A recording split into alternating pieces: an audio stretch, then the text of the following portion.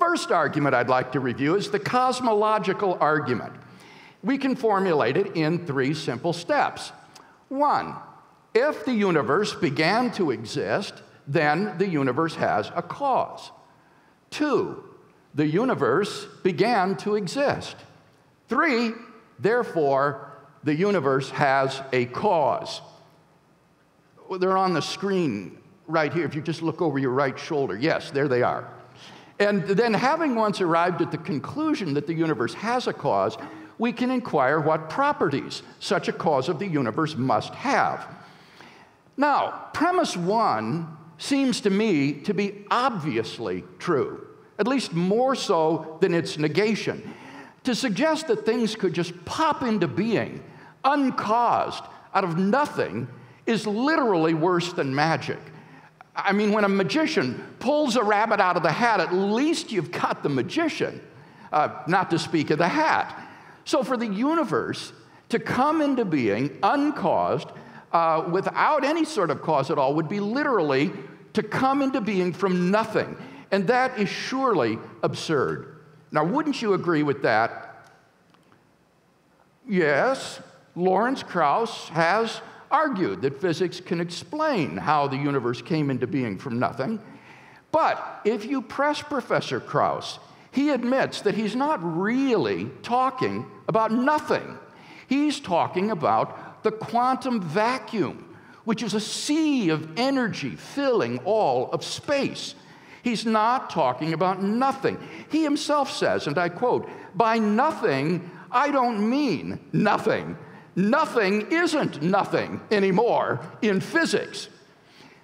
Have you read David Albert's review of Krauss's book in the New York Times? Listen to what Professor Albert says. I quote Krauss seems to be thinking that these vacuum states amount to there not being any physical stuff at all. But that's just not right.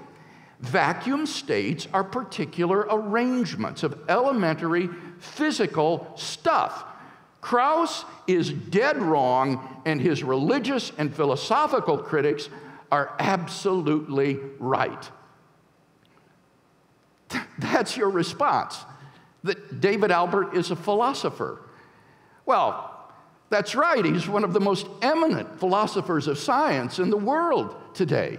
And his doctorate is in quantum physics. Dr. Dawkins, you're in no position to look down your nose at a man like David Albert. If you get into a dispute with David Albert about the proper interpretation of quantum physics, well, being he's one of the most powerful experts in the world and would blow your head clean off, you've got to ask yourself one question Do I feel lucky? well, do you, Prof? Ah, I think that's a good decision. Well, let's go on then to premise two that the universe began to exist. This premise can be supported by both philosophical argument and scientific evidence. The philosophical arguments aim to show that there cannot have been an infinite regress of events in the past, or in other words, that the series of past events must have had a beginning.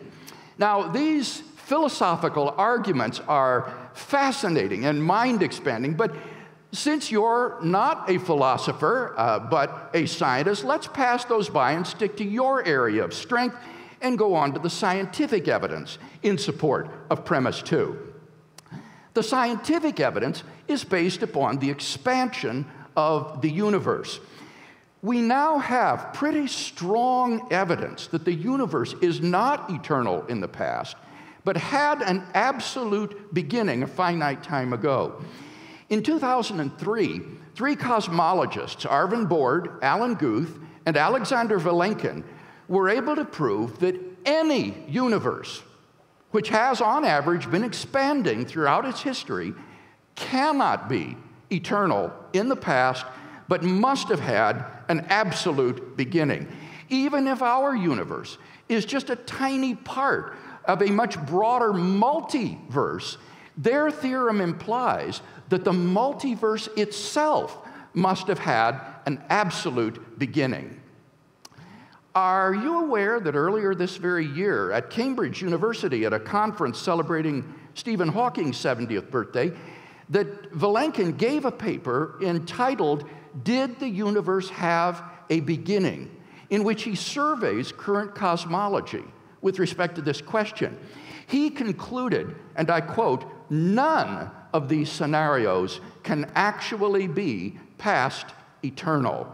He concluded, all the evidence we have says that the universe had a beginning. Now, that's a remarkable statement.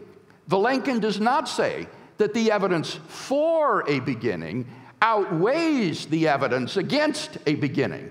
Rather, he says, all the evidence we have says that the universe had a beginning. Vilenkin pulls no punches. He writes, and I quote, It is said that an argument is what convinces reasonable men, and a proof is what it takes to convince even an unreasonable man. With the proof now in place, cosmologists can no longer hide behind the possibility of a past eternal universe. There is no escape. They have to face the problem of a cosmic beginning. End quote. So, Professor Dawkins, do you have any response to this scientific evidence in support of premise two? No. Well, then it follows logically from the two premises that therefore the universe has a cause. Oh, this is where you object. Okay, what is your objection then? So you think that there's absolutely no reason to endow this cause with any of the properties normally ascribed to God. Well, let's see, let's just think together about what properties the cause of the universe must possess. By the very nature of the case, as the cause of space and time, this entity must transcend space and time and therefore exist spacelessly and timelessly, at least without the universe. This transcendent cause must therefore be changeless and immaterial, since anything that is timeless must be unchanging, and anything that is material is constantly changing, at least at the atomic and molecular levels. Such a cause must also be beginningless and uncaused, since we've seen there cannot be an infinite regress of causes.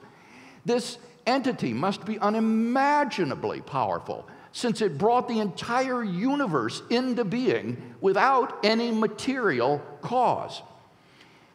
Finally, I think that such a first cause is very plausibly personal. Let me give two reasons for this conclusion.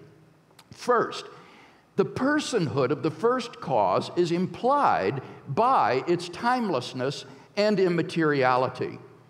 The only candidates we know of that could be timeless and immaterial entities are either unembodied minds or abstract objects like numbers. But here's the rub abstract objects don't stand in causal relations. That's part of the definition of what it means to be abstract. The number seven, for example, has no effect upon anything, and therefore it follows logically that the transcendent cause of the universe must be an unembodied mind. Secondly, this same conclusion is implied by the origin of an effect with a beginning from a beginningless cause. Just ask yourself the question how else could a timeless cause give rise to a temporal effect with a beginning like the universe? If the cause were a mechanically operating set of necessary and sufficient conditions, then the cause could never exist without its effect. Once the cause is given, the effect is given as well. To illustrate, the cause of water's freezing is the temperature being below zero degrees centigrade. If the temperature were below zero degrees centigrade from eternity past, then any water that was around would be frozen from eternity.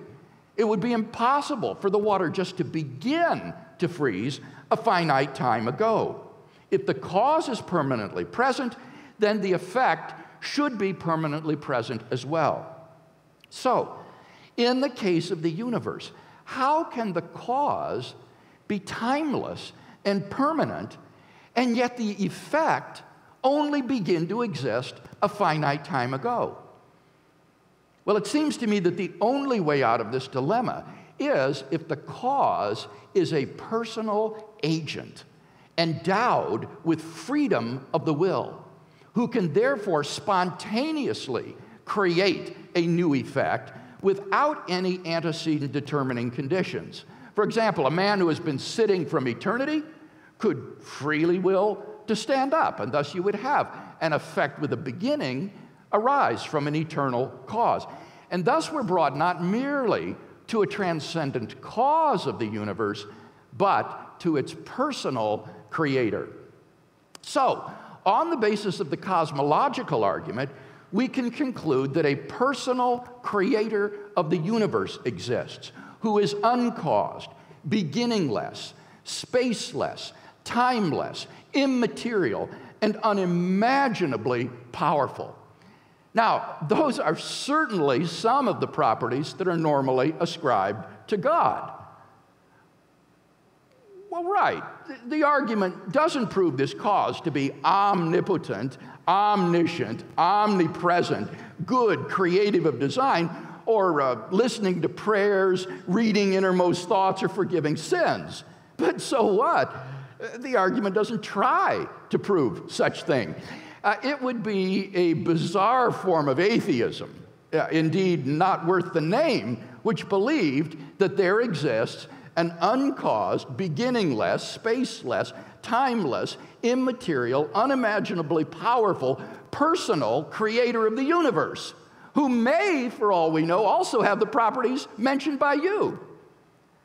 Well, we don't need to call this personal creator God if you find that unhelpful or, or misleading. But nevertheless, the point remains that a being such as I just described must exist. And you've said nothing to show the contrary.